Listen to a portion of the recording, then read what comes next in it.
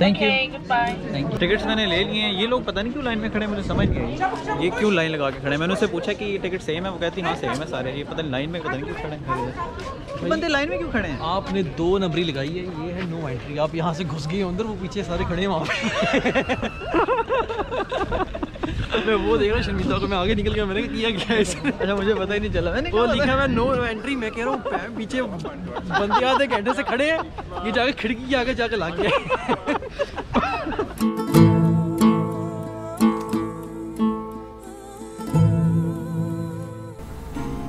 अभी हम दोनों जा रहे हैं टॉप कैपी पैलेस म्यूज़ियम की तरफ़ और ये हमारा वहाँ पर तीसरा दिन था।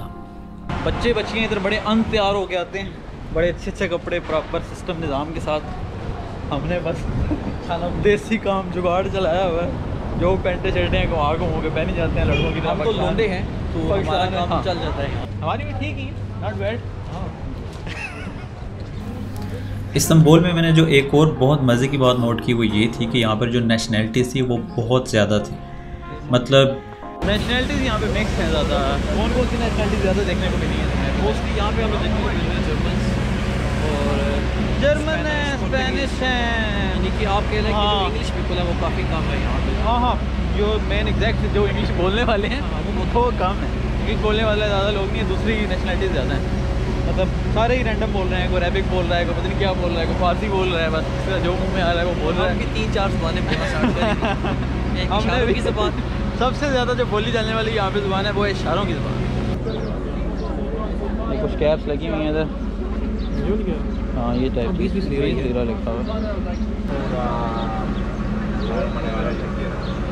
पूरी शाहरुख की लुक आ रही है। वो उसकी मूवी थी ना जिसमें वो गाना था। यूँ मुस्कुराए तुमने न जाना आईना आईना is the same word in Turkish Istanbul में ना आपको इस तरह की हैंडी क्राफ्ट्स वाली बहुत सारी शॉप्स मिल जाएँगी जगह जगह पर। ये वाली शॉप थोड़ी क्योंकि बड़ी थी और मुझे इसके बारे एक कैप नज़र आई तो मैंने सोचा वो कैप ले लूँ। खैर फ़िलहाल मैं ढूंढ रहा हूँ मिरर मतलब आईना। आईना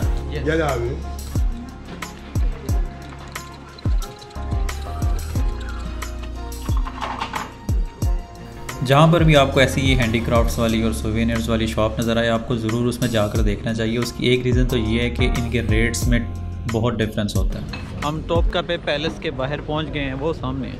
वो वो सामने ये जी पैलेस की एंट्रेंस आ गई है। पुराने कैमरा पहना हुआ तो अब वो ऐसा लग रहा है कि उसे लोग थोड़ा फोटोग्राफर फोटोग्राफर समझने ये एंट्रेंस से मैं एंटर हो गया हूँ। और और लोग भी आए हुए हैं। वो सामने शायद एक्चुअल म्यूज़ियम है उधर जहाँ पे चीज़ें हैं अंदर। वो वो जगह है। अच्छा जब आप मेन गेट से एंटर हो जाते हैं तो उसके बाद भी काफ़ी बड़ा सा लॉन होता है उसके बाद ये एक्चुअल टॉप का भी पैलेस का गेट आता है। और इसी के बायस से आपको टिकट मिल जाएगा यहाँ पे ये टिकट नॉट है। टिकट की प्राइस थी seventy two lira per person. अभी मैं टिकट्स लेने जा रहा हूँ टॉप कॉपी पैलेस की। सेवेंटी 72 लेरा की एक टिकट है। ठीक है तो Ücretsiz biletlerinizle geçeceksiniz. Thank you thank you tickets मैंने ले लिए हैं। ये लोग पता नहीं क्यों लाइन में खड़े मुझे समझ नहीं आई। ये क्यों लाइन लगा के खड़े मैंने उससे पूछा कि ये टिकट सेम है? वो कहती हाँ सेम है सारे। ये पता नहीं लाइन में पता नहीं क्यों खड़े हैं। बंदे लाइन में क्यों खड़े हैं? आपने दो नंबरी लगाई है ये है नो एंट्री आप यहाँ से घुस गए अंदर वो पीछे सारे खड़े हैं वहाँ पे। मैं वो देख रहा शर्मिंदा को मैं आगे निकल गया मैंने किया क्या इसने अच्छा मुझे पता ही नहीं चला। मैंने वो लिखा मैं नो एंट्री मैं कह रहा हूँ पीछे बंदे आधे घंटे से खड़े हैं ये जाके खिड़की के आगे जाके लग गया पाकिस्तानी स्टाइल में मैंने टिकट लिया। मैं नो एंट्री सेंटर जो एग्जिट पॉइंट में सेंटर है मुझे किसी ने रोका भी नहीं। उसने मुझे टिकट्स भी दे दिए। मैं कह रहा हूँ लोग पागल हैं रश लगा हुआ है लाइन में लगे हैं। क्या कर के रहे हैं ये? पर खैर खैर। बेध्यानी में मैंने जल्दी टिकट ले ली तो बाहर बड़ा रश लगा हुआ है। हाँ, ये पकड़ मैं मार लूँ। और टिकट्स लेके हम अंदर अंदर जा रहे हैं। हाँ ये भी जी फुल व्यू में। ये पूरे एरिया का व्यू बनाया है ना। ये ये हेडफोन भी दे रहे हैं ट्रांसलेटर हेडफोन्स जो लगा के शायद आपको आवाज़ आवाज़ से पता चल जाएगा कि क्या बोल रहे हैं अंदर शायद जो गाइड शेड होंगे उनके। ये बेजेंटीन अंपायर की जो थी ना वो फर्श अच्छा ये जो फर्श है यहाँ पे स्पेसिफिक उन्होंने छोड़ा हुआ है ये बेजिटेन एम्पायर का उन्होंने लिखा हुआ है कि वैसे का वैसे ही छोड़ दिया उन्होंने एक पार्ट ऑफ़ जो है दरमियान में। बाकी तो उन्होंने ऑब्वियसली उसको मेंटेन करने के लिए रिकन्स्ट्रक्ट भी किया होगा।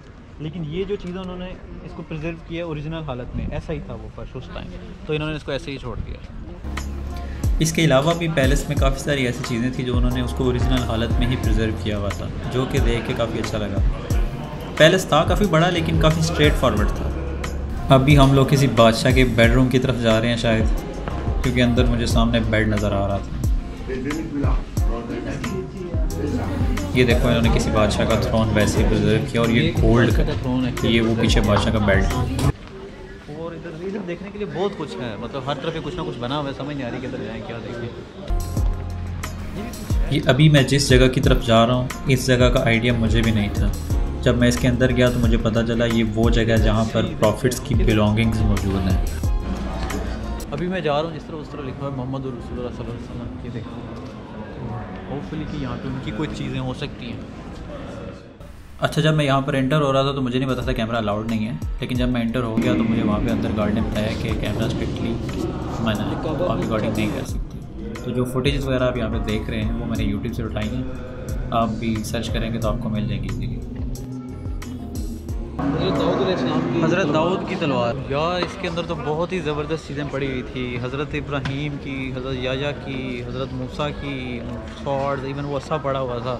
और हज़रत फातिमा के कपड़े डिफरेंट प्रॉफिट्स की बहुत अच्छी अच्छी चीज़ें पड़ी हुई थी और बहुत ही मज़े का था ये तो। मतलब मैं बता नहीं सकता। अंदर रिकॉर्डिंग अलाउ नहीं थी इसलिए मैंने रिकॉर्ड कुछ नहीं किया। लेकिन वो देख के ना मुझे एक जब आप चीज़ को, जब आपने सुनी होती है, जब अस्से के बारे में सिर्फ़ आपने सुना है कि ऐसा था पानी में मारा और ये सारी स्टोरी आपने हर चीज़ सुनी, आपको पता है।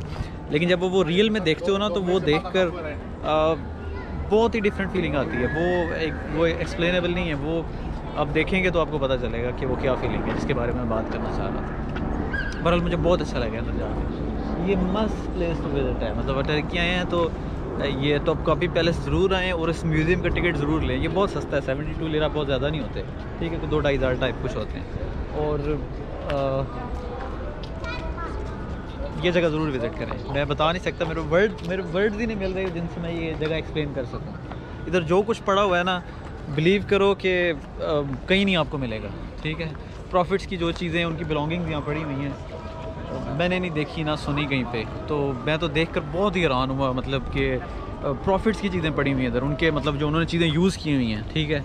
उनके कपड़े, उनकी वो तलवारें, हज़रत अली की तलवार पड़ी हुई है, हज़रत फातिमा की इतनी चीज़ें पड़ी हुई हैं, इतनी बड़ी कलेक्शन है। मे बी यूट्यूब पर लोगों ने अपलोड किया हो, लेकिन अंदर कैमरा वगैरह अलाउ नहीं है, उन्होंने मना किया हुआ ठीक है? तो इसलिए मैंने रिकॉर्ड भी नहीं किया और मैं उस टाइम वो रिकॉर्डिंग के मूड में भी नहीं था, वो मैं देख के, मैं खुद ही उसमें वो चला गया था कि रिकॉर्डिंग की तरफ़ मेरा फिर ध्यान भी नहीं गया। ठीक है? लेकिन बहुत मज़े का था। इनकी डायरेक्शन चेक करना ये ईस्ट वेस्ट देखने डायरेक्शनें देखने वाली ये कंपस है उस दौर की सल्तनत उस्मानिया के दौर की ये कंपस पैलेस जो है वो बहुत अच्छा बना हुआ है। और ये पैलेस के गार्डन की तरफ़ हम जा रहे हैं आगे पैलेस का गार्डन है।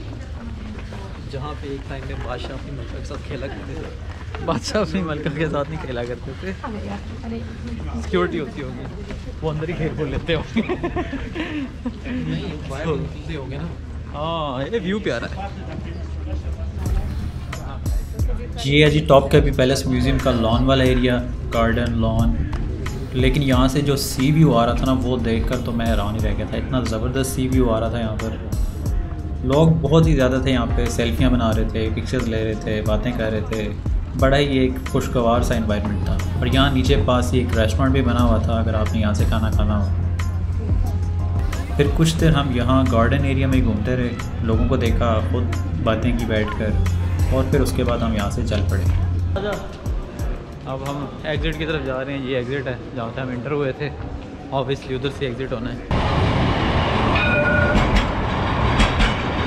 तो इस चक्कर में आ जाते हैं। अभी हमारे नुसरत में वो जो भाईजान ड्रामे कर करके स्टेक बेचते हैं। ये वही वाले भाईजान हैं जो सॉल्ट गिरा गिरा के वीडियोस बनाते हैं इंस्टा वगैरह पे। सॉल्ट वे के नाम से इंस्टा पे इनका अकाउंट भी है। फिर ग्रैंड बाज़ार का ग्रैंड बाज़ार और क्रोज है। वो ग्रैंड बाज़ार वाले इंटरन से पीछे। वो क्रोज है इस वजह से हम दूसरी तरफ़ से आ गए। इसने अपनी दो इंटरन बनाई सियाना बंदा है। उनको पता है इतवार को बंद होता है। लेकिन लोगों ने खाना तो खाना ना। बाज़ार के गेट बंद है।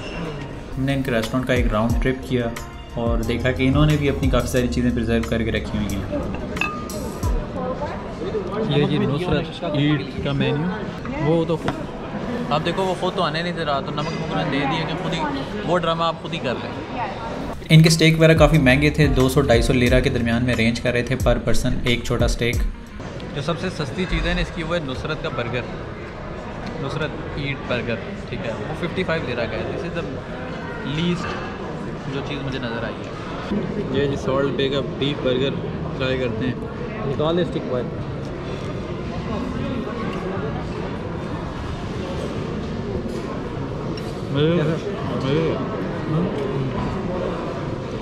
अंदर से बड़ा जूसी है और सॉल्टिश सॉल्टिश है।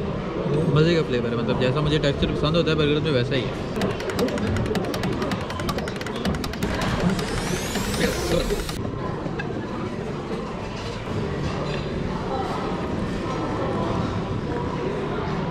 अब नमक डाल इसमें